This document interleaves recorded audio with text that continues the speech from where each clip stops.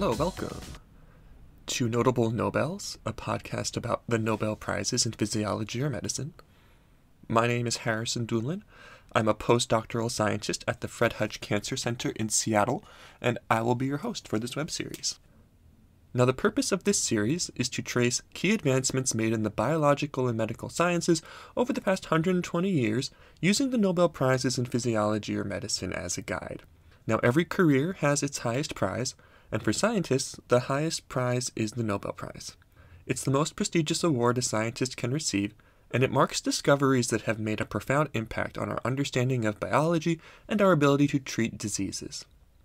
Today, we will be examining one half of the 2008 prize in physiology or medicine, which was awarded to Luc Montagnier and Françoise Barré-Sinoussi.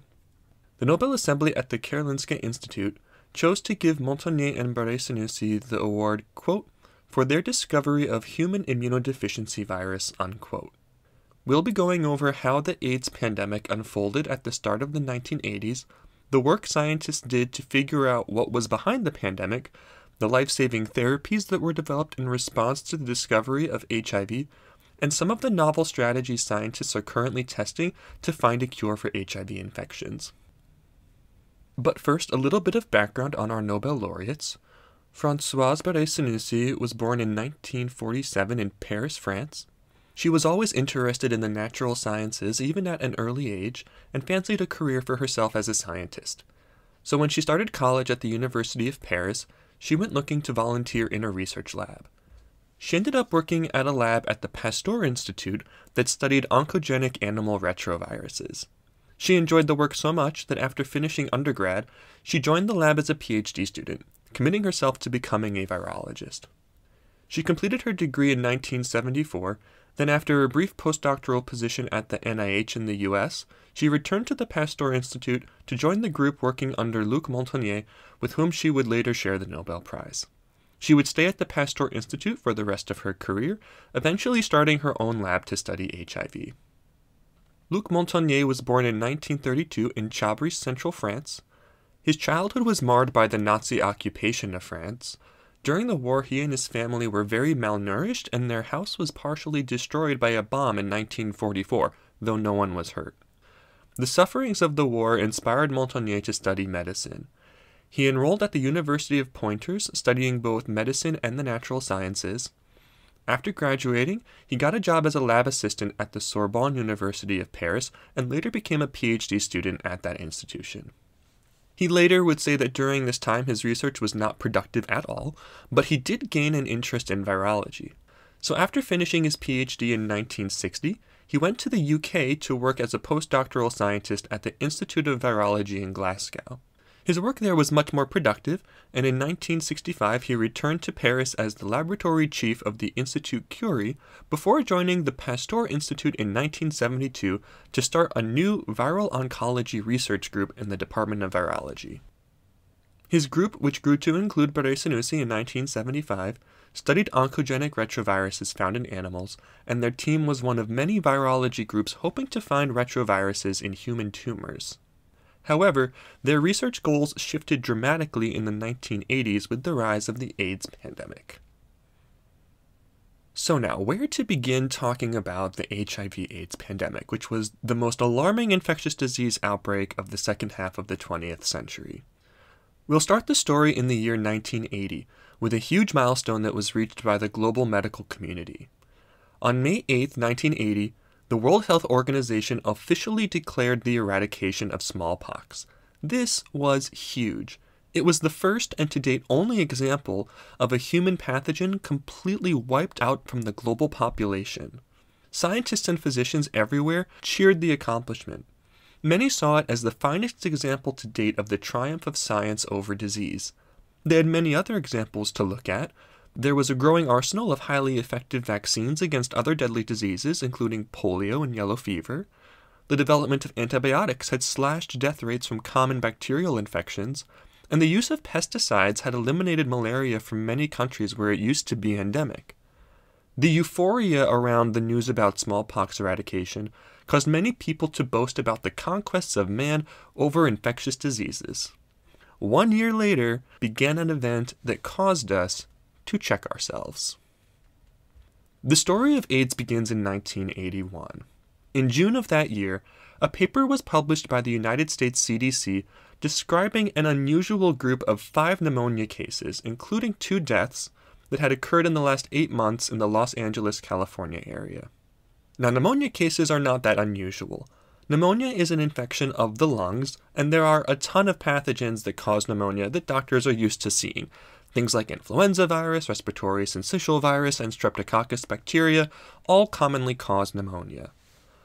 What was weird about the five pneumonia patients in Los Angeles was that they all had pneumocystis carinii infections. So, what's that?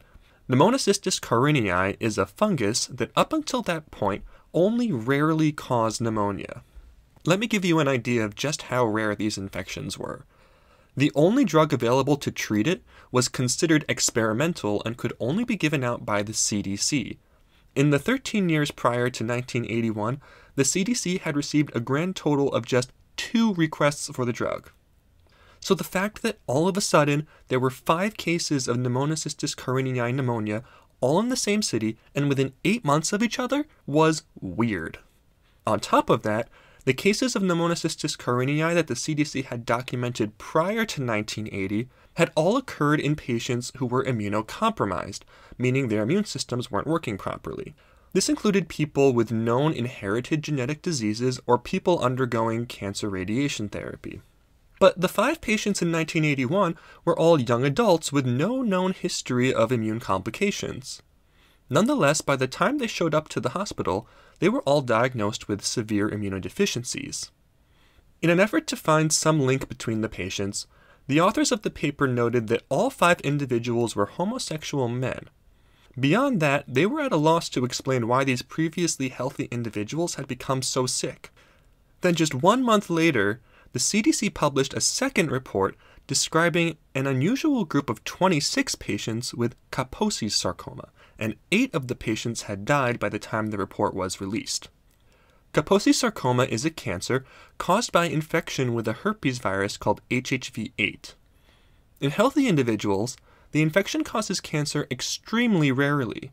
But now, all at once, there were 20 cases, and all in previously healthy young individuals. However, the patients in their report were all immunocompromised by the time they received their cancer diagnosis, and interestingly, they were also all young homosexual men. As the year wore on, more and more cases of the unusual immunodeficiency syndrome were reported, not just in the United States, but also in Europe. It seemed likely the new disease was some kind of sexually transmitted infectious disease, a particularly deadly one. Cases of the unusual immunodeficiency continued to climb rapidly. In 1982, the disease was finally given the name we use today, Acquired Immune Deficiency Syndrome, or AIDS for short. People began noticing AIDS in additional groups, not just homosexual men. AIDS cases were reported among intravenous drug users and among hemophiliac patients who received blood transfusions. This quickly led to the hypothesis that AIDS was caused by some pathogen present in the blood, and scientific teams began searching for the pathogen that might be the cause of AIDS. The hunt for the AIDS pathogen mainly involved two groups of scientists. One group was headed by Robert Gallo at the National Cancer Institute in the United States. The other group was Montagnier's group working out of the Pasteur Institute in Paris. Both groups had been studying retroviruses prior to the start of the AIDS outbreak. Gallo's group had become widely recognized in virology circles after they discovered the first human retrovirus in 1978. The virus was named Human T lymphotropic virus, or HTLV, and in 1982, Gallo's group reported the discovery of a second human retrovirus they named HTLV2. Both HTLV1 and HTLV2 are rare viruses that generally don't cause serious disease.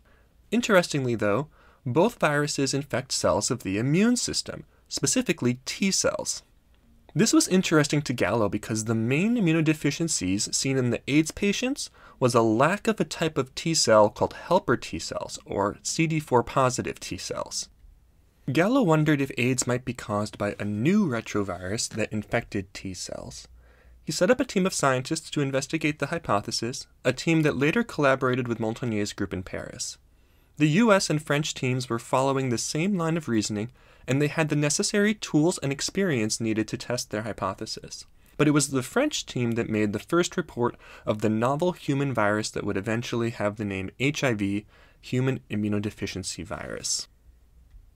The opportunity to isolate the virus came when a French homosexual male who had recently traveled to the US sought medical attention after showing early symptoms of an infection, including swollen lymph nodes. Montagnier's group took a biopsy of his lymph node, ground it up, and added the tissue sample to some fresh T cells in a cell culture plate. They then checked the fresh cells under an electron microscope to look for any virus that might be present. Sure enough, the researchers saw virus particles budding from the cells. They purified the virus and ran a test to see if the virus contained the reverse transcriptase enzyme, and it did. This meant that they had isolated a human retrovirus from the patient. But was it a novel virus, or had they just rediscovered HTLV1 or HTLV2?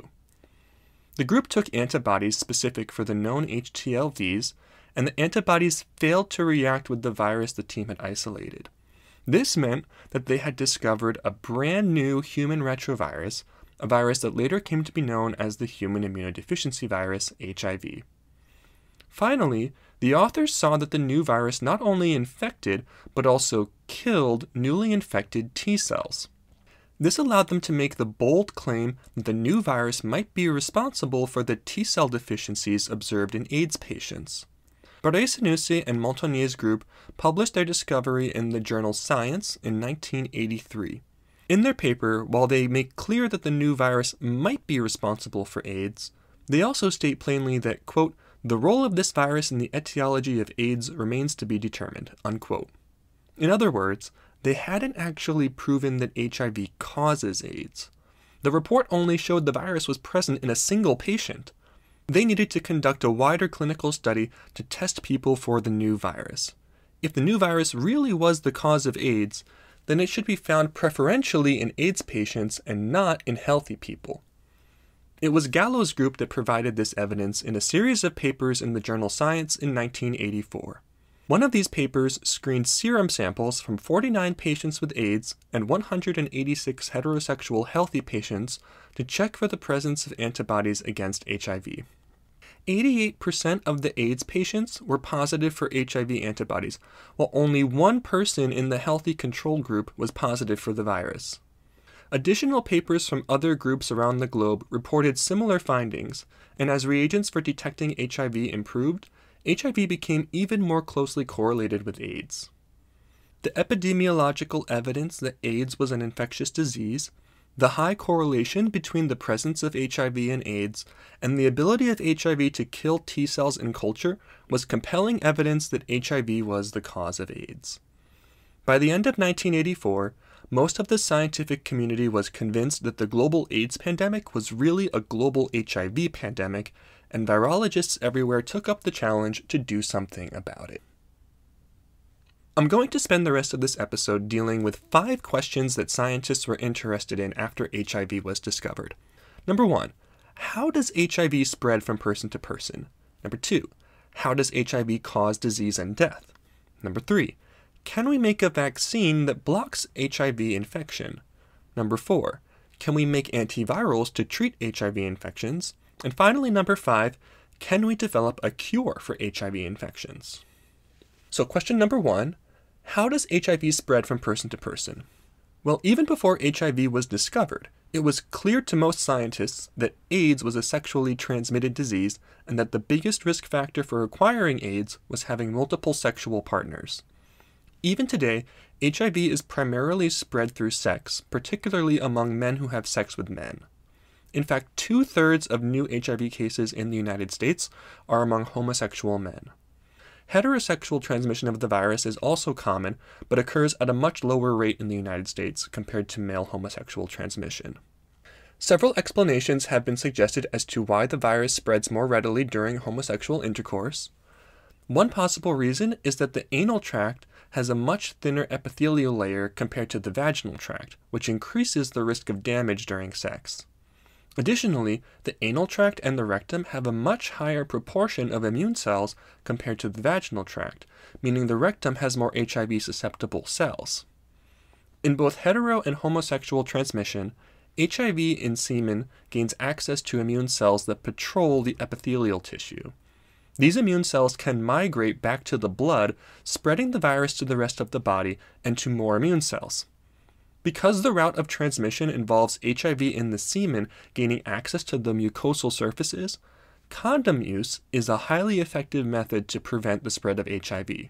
While sexual transmission remains the dominant route of transmission of HIV in the United States, there are a few other routes of transmission.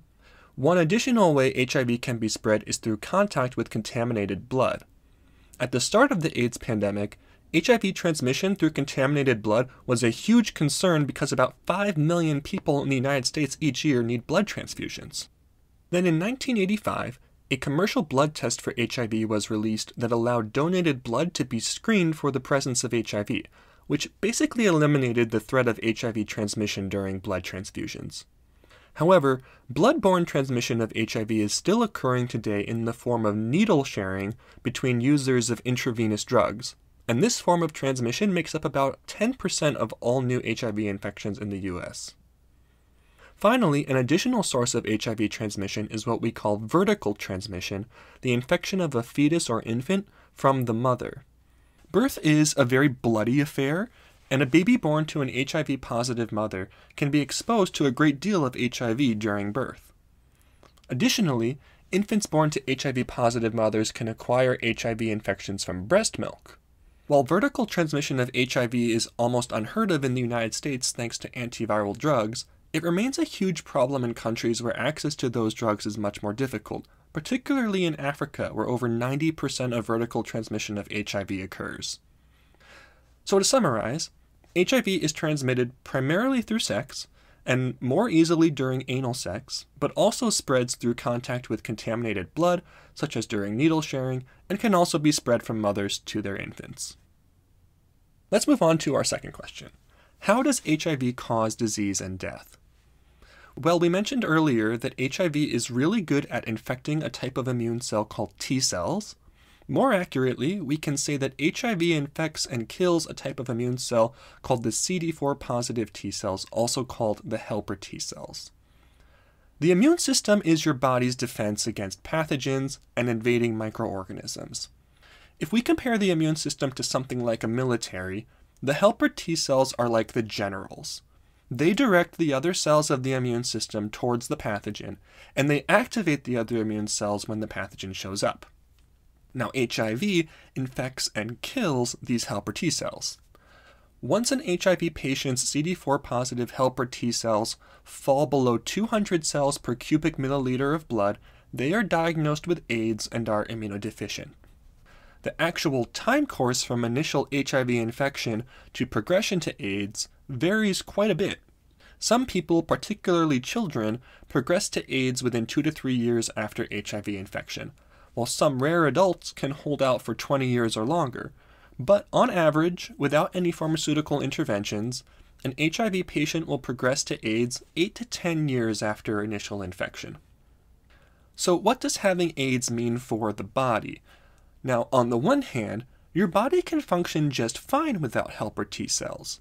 By that, I mean that your lungs, your brain, your digestive system, your liver, your kidneys, all of your organs will pretty much function as normal. On the other hand, AIDS leaves your immune system like a military without any generals. The other immune cells can't function properly without the helper T cells. The lack of helper T cells leaves the body incredibly vulnerable to infection, including infection with microorganisms not typically associated with disease in healthy people. This special group of microbes are called opportunistic pathogens, and they include organisms like Pneumocystis carinii that we mentioned earlier. Opportunistic pathogens are microbes that normally don't cause disease, but in immunocompromised patients, they take advantage of the lack of functioning immune cells to start an infection. In AIDS patients, the immune system becomes so incapable of fighting off invaders that even the mildest infection can become life threatening. So, and this is the important part, what actually kills an HIV patient isn't acutely the HIV. Even when an HIV positive person has progressed to AIDS, the fact that they have AIDS isn't the immediate cause of death, though it is responsible for their death. The immediate cause of death from HIV AIDS is an infection with some other pathogen that the body's immune system is incapable of getting under control. That opportunistic infection can either kill the AIDS patient directly, like with pneumocystis carinii pneumonias, or indirectly, like the Kaposi sarcoma caused by the oncovirus HHV8. But no matter what the pathogen is, it poses a life threatening risk for the AIDS patient. To give you an idea of just how deadly HIV AIDS is, here's some scary statistics. Since the start of the AIDS pandemic, it is estimated that over 84 million people globally have been infected with HIV. Of those 84 million, nearly half of them have died from AIDS related illnesses. Wow. In the early wave of the AIDS pandemic in the United States, over 80% of the AIDS patients diagnosed before 1985 were dead by 1988. That is a scary high mortality rate. So it's not surprising that the AIDS pandemic caused a lot of panic in the 1980s as people clamored to do something to stop the steady increase in AIDS deaths. But what could be done? Well, there were several non pharmaceutical interventions that people could put in place immediately People were warned to limit their number of sexual partners and to use condoms during sex. The ability to screen patients and donated blood for HIV also marked progress at curbing new HIV infections. But in addition to these interventions, what people really wanted was a pharmaceutical method to stop the spread of HIV. And the main intervention that people were initially interested in was a vaccine. So that brings us to our third question Can we make a vaccine against HIV? Well, at first people certainly thought so. Following the discovery that HIV causes AIDS, the U.S. Secretary of Health and Human Services boldly told a group of reporters that she expected a vaccine to be ready for testing within two years. Well, we are now many decades since then, and there is still no AIDS vaccine. In 1997, US President Bill Clinton set a national goal to develop an AIDS vaccine within 10 years. Well, Clinton's deadline has come and gone, and we still don't have a vaccine. Many famous scientists, including David Baltimore, who we mentioned in the previous podcast episode, turned their attention to making an HIV AIDS vaccine, but almost all of them have given up on the project. Then in 2007 came one of the biggest setbacks to AIDS vaccine research. An HIV vaccine developed jointly between the NIH and the pharmaceutical company Merck failed spectacularly in a large phase 3 clinical trial. Since then, interest in an AIDS vaccine has dropped considerably, though several people are still working on the project. But why so much failure? Why is it so hard to make a vaccine against HIV? Well, there's a few reasons. One reason is that vaccines are supposed to train the immune system to fight off specific pathogens, but in the case of HIV, the immune system itself is what's being attacked. Additionally, making an HIV vaccine is difficult because HIV is a retrovirus and can establish latency inside infected cells. So, what do I mean by that? Well, when HIV gets inside a helper T cell, the HIV reverse transcriptase enzyme converts the virus's RNA genome to DNA. That DNA copy is then inserted into the DNA of the host cell. Rather than making more virus right away, HIV can lie silent in the T cell, only to become activated years later when the T cell is stimulated to replicate. This ability of HIV to hide out in the DNA of the host cell keeps it from being detected by other immune cells in the body. Finally, making a vaccine against HIV is difficult because HIV has one of the highest mutation rates of any human virus. The mutation rate is so high that it is not unusual for an HIV positive patient to develop their own unique strain of the virus over the course of their disease. Making a vaccine that can target all the different strains of HIV out there is the holy grail of HIV vaccine research. Most of the current vaccine methods have focused on eliciting antibodies against conserved domains on HIV proteins, basically targeting regions that don't mutate so quickly. Whether these approaches will work remains to be seen. In the meantime, though, a vaccine to protect against HIV doesn't seem to be on the table anytime soon. So, in the absence of an effective HIV vaccine, people had to look for alternatives to block the virus. This leads us to our fourth question can we make antivirals to treat HIV infections? Fortunately, the answer here is a resounding yes. There are many highly effective drugs that target HIV, but getting them took a while. The first FDA approved drug to treat HIV/AIDS was azidothymidine, or AZT for short. AZT began distribution in 1987, nearly six years after the first reported AIDS deaths in the US. AZT was originally designed as a cancer drug back in the 1960s, but when it didn't work against cancer, it was shelved until the 1980s when researchers began screening known drugs that might have an effect against HIV. AZT belongs to a class of drugs called nucleoside analog reverse transcriptase inhibitors. As mentioned in the last episode of this podcast, reverse transcriptase synthesizes a DNA copy of the RNA genome of the virus, and that DNA copy is then used to make more RNA genomes that get packaged into new virus particles. In the process of making viral DNA, reverse transcriptase takes DNA building blocks called nucleotides and strings them together to form the new strand of DNA. To the reverse transcriptase enzyme, the AZT drug looks a lot like a DNA nucleotide building block and reverse transcriptase will try to use AZT to make viral DNA. However, AZT has a chemical modification that prevents new nucleotides from being added to the growing DNA strand. The result is that reverse transcriptase fails to make the DNA copy of the virus genome, which blocks virus replication. In the initial studies of patients taking AZT, the drug greatly extended the time it took for HIV positive patients to progress to AIDS. It was an important first step, but there was still some problems. AZT had a rather high toxicity, and additionally was priced at $10,000 per year, which is about $25,000 in today's currency. That was prohibitively expensive for most people. AZT patients also often still progressed to AIDS as the virus would develop resistance to the drug over time. On average, the drug could delay progression to AIDS by about two years.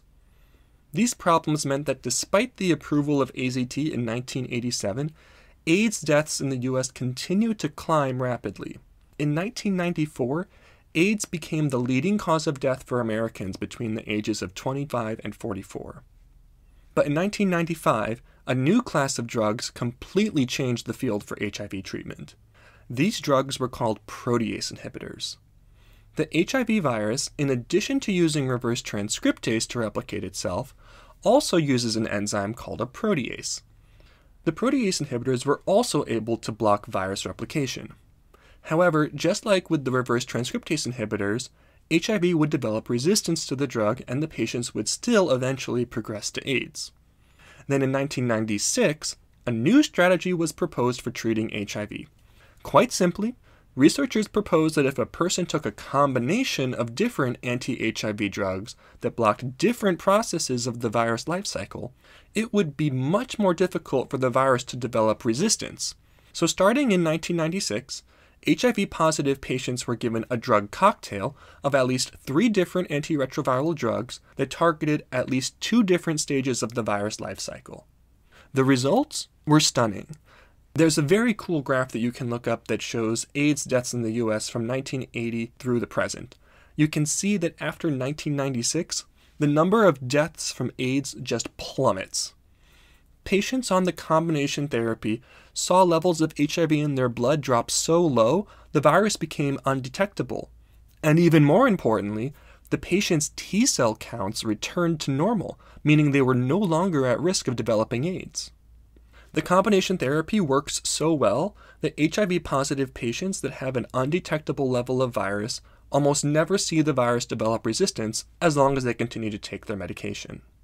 And to top it off, studies have shown that patients who have their HIV levels suppressed to undetectable levels are no longer capable of sexually transmitting the virus, and the chance of mother to child transmission during birth drops to less than 1%. Thus, in the absence of a vaccine, Antiretroviral drugs are the most effective medical intervention that we have at reducing the spread of HIV and stopping AIDS deaths. While 30 years ago, an HIV diagnosis used to be a death sentence, thanks to these drugs, HIV positive patients can now fully expect to live well into their 70s with very little side effects from their medication and almost no risk of spreading the disease to anyone else. So, with all that being said, let's move on to our fifth and final question Can we develop a cure for HIV? As amazing as antiretroviral drugs are, they do not result in a cure. In fact, while the annual number of new HIV infections and AIDS deaths in the US has declined rapidly since 1996, the number of people living with HIV infections has continued to climb. This is because, as things stand now, if a person contracts HIV, they will be infected for life. If an HIV positive patient who is undetectable stops taking their medication, they will have high virus levels in their blood again after a few weeks. The reason for this is because the antiviral drugs do not eliminate HIV DNA from infected cells. The drugs keep the infected cells from making more virus so the person's immune system can recover, but the body maintains a reservoir of infected CD4 positive T cells that still have the virus genome. And the problem is, some of those infected T cells can live for decades. The presence of this reservoir of latently infected cells makes developing a cure for HIV very difficult, but not impossible. The first announcement that an HIV positive person was cured of their infection came in 2008. The patient was Timothy Ray Brown, a man from California who had been HIV positive for 11 years. In 2006, he also developed acute myeloid leukemia, a type of blood cancer. To treat his cancer, his doctors proposed radiation to wipe out his blood cells, including most of the HIV infected T cells, followed by a bone marrow transplant to replenish his blood. Beyond just giving him a bone marrow transplant, his doctors decided to go one step further and gave him a transplant from a patient with a special mutation in a protein called CCR5. CCR5 is a co-receptor on T cells for HIV infection. People with a rare homozygous mutation in CCR5 are about 100 times less likely to be infected with HIV. The mutation is most commonly found among people with European backgrounds, but even in that population, only about 1% of Europeans are homozygous for the mutation. Despite the rarity of the mutation, the doctors treating Brown found a bone marrow match who also had the mutation in CCR5. Following his radiation treatments and bone marrow transplant, Brown stopped taking his antiretroviral medication and the doctors waited to see what would happen. As months and then years went by, Brown's blood continued to show no traces of HIV. Even over a decade after he stopped taking antiretroviral therapy, he continued to show no trace of the virus he had incredibly been cured of HIV. Now, as exciting as that was, Brown's case was quite exceptional. In fact, it's been 15 years since Brown's bone marrow transplant, and only two or three other people are known to have been cured of HIV. The reason it's been so difficult to replicate Brown's cure is because bone marrow transplants are incredibly risky operations that aren't a practical solution to HIV when antiretroviral drugs can effectively stop a person from progressing to AIDS. Additionally, even if a person ends up needing a bone marrow transplant, finding a match is tricky. So, radiation and bone marrow transplants aren't a practical solution to curing people of HIV. But Brown's case showed researchers one thing a cure was possible. His case galvanized researchers to find a cure. So, what are some of the new strategies people are pursuing to cure HIV? Well, I think the coolest strategy is using gene therapy. Gene therapy has grown in popularity in recent years as tools like CRISPR Cas9 have made gene therapy much easier. One line of gene therapy targets uninfected T cells and aims to genetically engineer them to make them highly resistant to HIV infection. A second line of gene therapy targets the virus DNA in infected cells. This strategy aims to make mutations in the virus genome to prevent the virus from replicating. These strategies are still being tested, but I'm really excited to see where they go. Now, I have one final takeaway for this episode, the story of HIV AIDS is a testament to the ingenuity of science, and it shows that great things are possible through the hard work and collaboration of scientists around the world. But the story of HIV AIDS is also a warning to scientists not to get too full of ourselves. 2023 will mark 40 years since Montagnier and Sinoussi published their paper first describing HIV. 40 years on, while the death rate from AIDS has been falling steadily, the number of people living with HIV continues to climb, and we still do not have a vaccine to prevent HIV infections. In an article for Scientific American in 1987, Robert Gallo made the following remark about the story of HIV AIDS. Does this terrible tale have a moral? Yes. In the past two decades, one of the fondest boasts of medical science has been the conquest of infectious disease, at least in the wealthy countries of the industrialized world. The advent of retroviruses with the capacity to cause extraordinarily complex and devastating disease has exposed that claim for what it was hubris. Unquote. If the AIDS crisis was a wake up call about the inadequacies of current medical science, the SARS CoV 2 pandemic has been a blaring siren. As great as science is, the threats to life are numerous and constantly changing, and ultimately, we need to keep our expectations of science in check with that reality. Of course, I'll still be telling the great stories of science on this podcast, and I hope these stories inspire scientists out there to dream big, work hard, try new things, and find out what amazing things are possible. But I also hope these stories inspire us to do our work with humility, a humility that comes from looking at our history and learning from it. That concludes this episode of Notable Nobels. This episode was recorded on February 20th, 2023. I want to thank Digital Mind Productions for providing the music. If you want to know more about the history of HIV AIDS research, I recommend the book HIV and AIDS A Global Health Pandemic by Scientific American. Next time, we'll be talking about a Nobel Prize awarded for the discovery of another human virus, this time an oncovirus. Unlike the oncoviruses we talked about so far, this one has a rather different mechanism by which it causes cancer. Want to know more? Well, listen next time to find out. Thanks so much for listening. See you then.